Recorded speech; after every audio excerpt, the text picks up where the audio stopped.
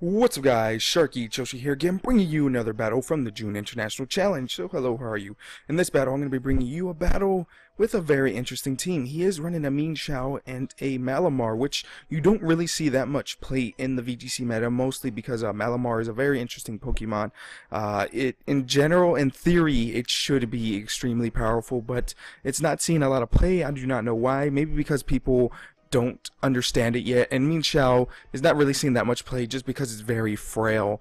But um, it is a still it's still a very powerful Pokemon with the ability to fake you out and do a ton of damage and uh, just having the ability to come in and out. So my opponent is also running a Talonflame and a Mega Mawile to round up his lineup while my uh, team, I am not bringing my Mega, which is a Mega Venusaur. I am bringing my Lucario, I mean Lucario, why am I thinking of, sorry, I'm thinking about another battle. I am bringing my Rotom Heat, my Salamence, my uh, Azumarill, and last but not least, my uh, Aegislash to round up my lineup. So let's go ahead and get started with the battle and see what happens. So like I said, Malamar in theory should be a very powerful Pokemon with its superpower and uh, it only being weak to I think bug and uh, fairies. But other than that, Malamar is a very powerful Pokemon. I might playtest with it, you know? It seems like a very good Pokemon, and I don't know. But anyway, I am going to go ahead and lead with my Salamence and my Azumarill, while he's going to go ahead and lead with his uh, Talonflame and his uh, Mienshao. This is very good for me because my Salamence with the Intimidate is going to wreck these two Pokemon because they are both physical attackers. I am going to go ahead and retrieve my uh, Salamence because I know he's going to double up on it. I am going to go for the Protect onto my uh, Azumarill, predicting that he is going to go Fake Out. And yes, he did Fake Out that slot, and he's going to go ahead and U-turn that slot also. Uh, so very good play by my part. He's not going to do any damage to me.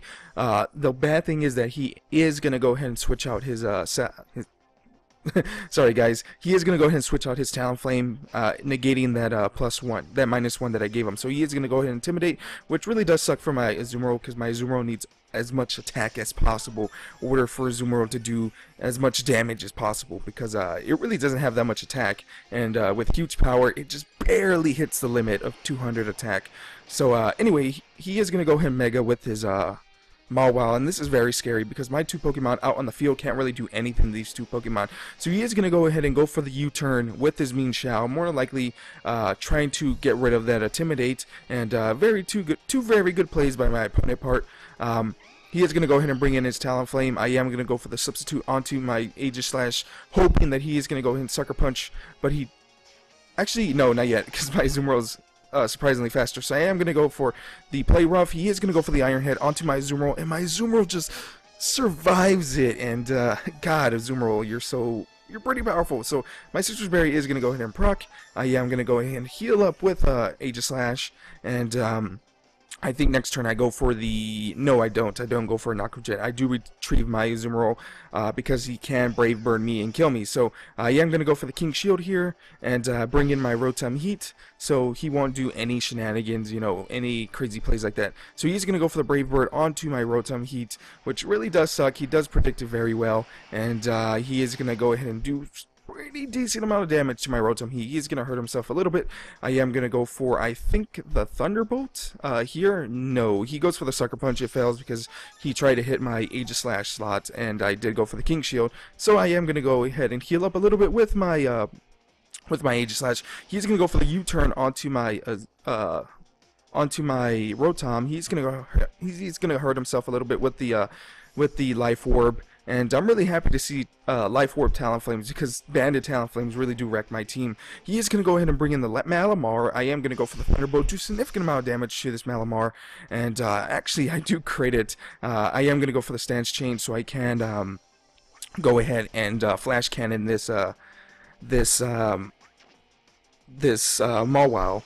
So I am going to go for the Flash Cannon, do a lot of damage, bring it down to 1 HP, and it was a crit, and I lowered special defense, which, yeah, he is going to go for the Stone Edge, knock out my Azumarill. Azumarill? Oh my god, I'm pretty tired, guys, I'm sorry about that. Knock out my my Rotom, and I really didn't see the Stone Edge coming from uh, Mawile. You usually see Rock Slide, so you can have that spread move, but uh, Stone Edge, a very risky move did pay off in their favor, and uh, very good move by my opponent's part. So I am going to go ahead and bring in my Salamence so I can get the Intimidate off on these two Pokemon because they're both physical attackers. And you guys see, uh, Intimidation's really good here, so his attack is actually going to raise, uh, but uh, it really doesn't matter to me because I am faster. I am going to go for the Dragon Pulse knock out that Malamar, and um, uh, Salamence is going to become a very big, very good very good Pokemon for this matchup because all his Pokemon that he brought are nothing but physical attackers. And uh, yeah, I'm going to go for the Flash Cannon onto the Mawile,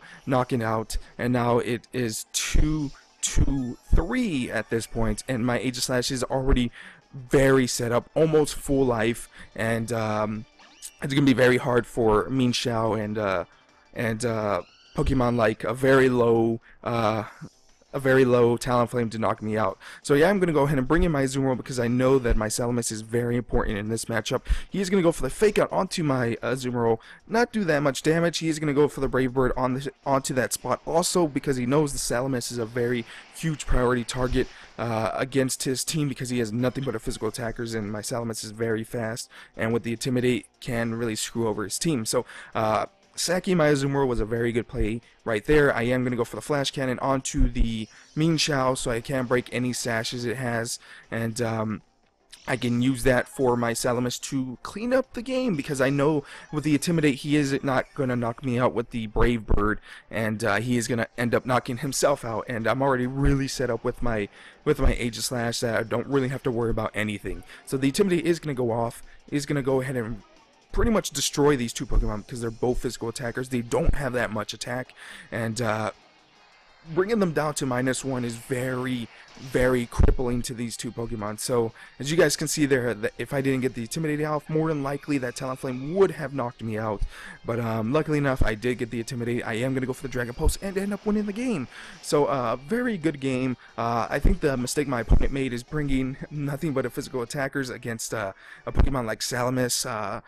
He was probably hoping that um, Mawile can take out that threat, and uh, I did bring Scrafty. I didn't bring. I did have Scrafty in my team, so uh, they probably thought that with the Mawile is just significant, uh, significant enough for uh, my opponent to win the game. So um, anyway, great game. Um, and uh, I hope you guys liked the video. And until next time, guys, I'll see you guys later with more battle videos.